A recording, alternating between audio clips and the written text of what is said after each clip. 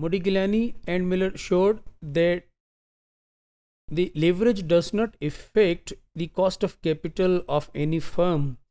But how this phenomena can be reconciled? Because the cost of capital differ for every security. So then what is the relationship between leverage and the cost of capital or particularly the cost of levered equity mm1 proposition says that the market value of securities that is the market value of debt and equity is equal to the market values of the underlying assets.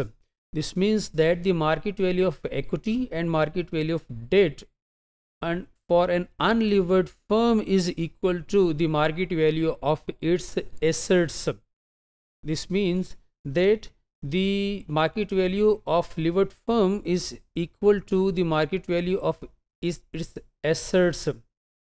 Whether the firm is levered or it is unlevered now we see that the portfolio return is equal to the weighted average returns of the securities involved in it. This means that the relationship between returns of levered equity debt and unlevered equity is basically a model that can be said that the return of unlevered equity is the sum of proportional return of its debt and the proportional return of its equity.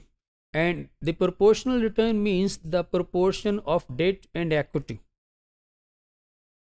Now if we solve for the return on un, on unlevered equity using the earlier model we have a simply a little change in the model that says that return on unlevered equity or RE is equal to return on levered equity plus the proportion proportion between debt and equity multiplied by the difference between return on unlevered equity and the return on debt so this means that the return of return on levered equity is the sum of return on unlevered equity and the additional risk the firm takes due to the leverage.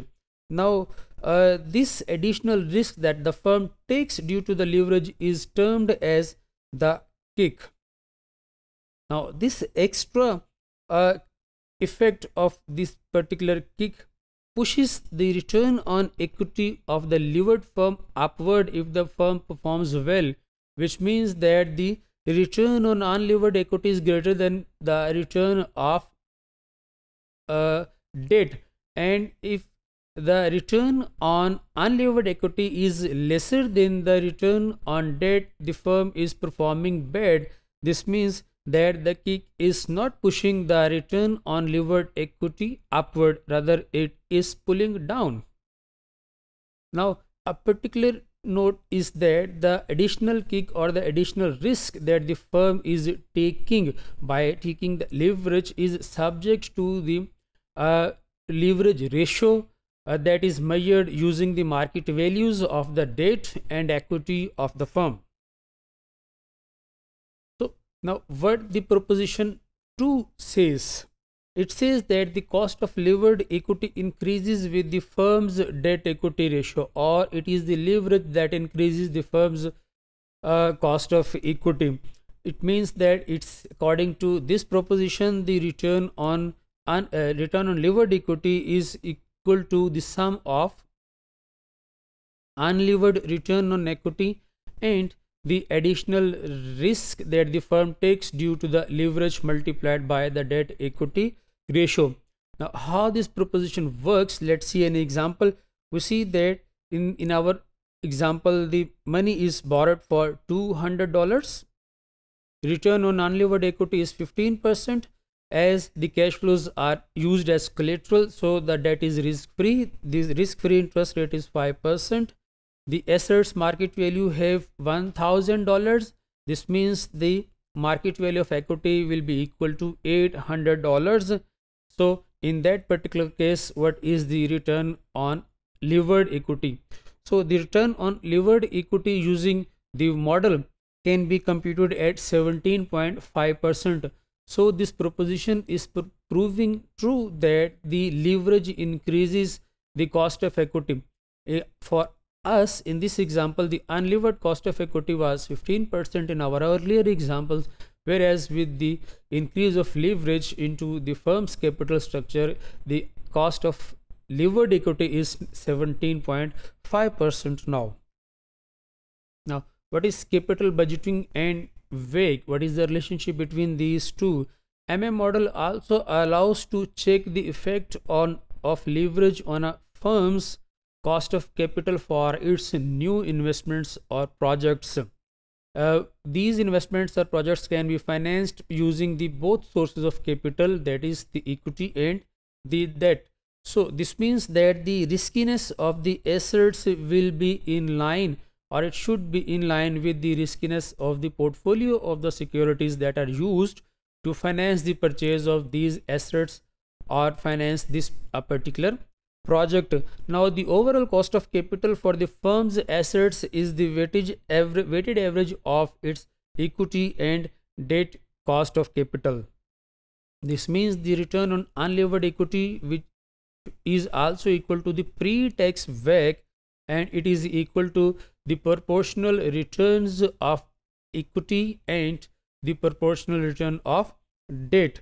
Now, in the perfect capital market, as we assume there is no taxes, this means that the firm's weighted average cost of capital and its unlevered cost of capital should be equal to each other.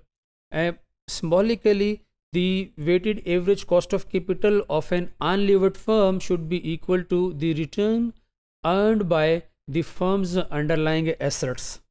Now we have a graphics to see the relationship between return on equity, return on debt and WACC in the presence of the leverage.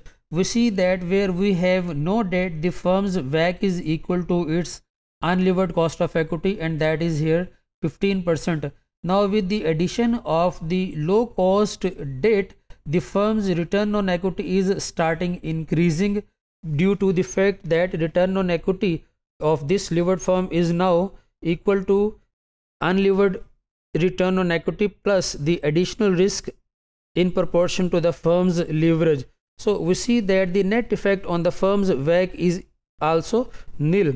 Now we see that as the debt is getting higher, it exposes a firm to the default and this raises its debt cost that we see it it is going from 5% to 15% now if the firm is using 100% debt this means that firm's assets will be equally risky. So the higher leverage raises return on debt and return of unlevered equity both because the more weight is put on the low cost debt. But the WACC remains the same. To understand this we have a table here where the debt equity from 1000 to 100 and correspondingly debt from 0 to 900 the return on equity is also increasing from 15% to 75% because with the addition of the debt the firm is getting riskier so the cost of equity is getting accordingly higher but the return on debt is getting increasing accordingly but at a slow rate. The effect of this combination is that the low cost debt although a low cost but it has no effect on the overall cost of capital of the firm and the WACC in this case remains the same.